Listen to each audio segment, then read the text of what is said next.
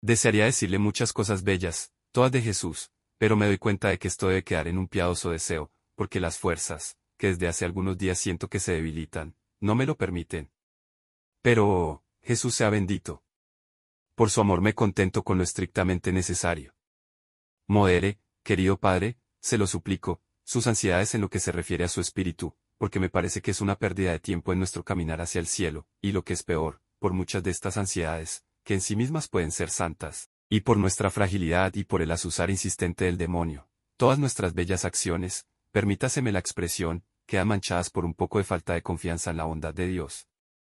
Es solo un sutilísimo hilo que tiene atrapado al espíritu, pero que le impide, y de forma notable, remontar el vuelo en los caminos de la perfección y orar con santa libertad.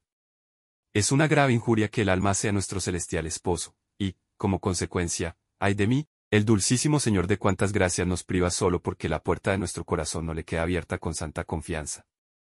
El alma, si no se decide a salir de este estado, se atrae sobre sí muchos castigos. No le parezca exagerada, querido Padre, esta afirmación mía.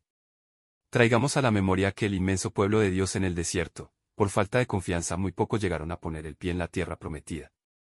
Su propio jefe, quiero decir Moisés, por haber dudado al golpear aquella piedra de donde debía salir agua para quitar la sed de aquel pueblo sediento. Fue gravemente castigado y no pisó la tierra prometida. San Padre Pío de Pietrelcina, ruega por nosotros.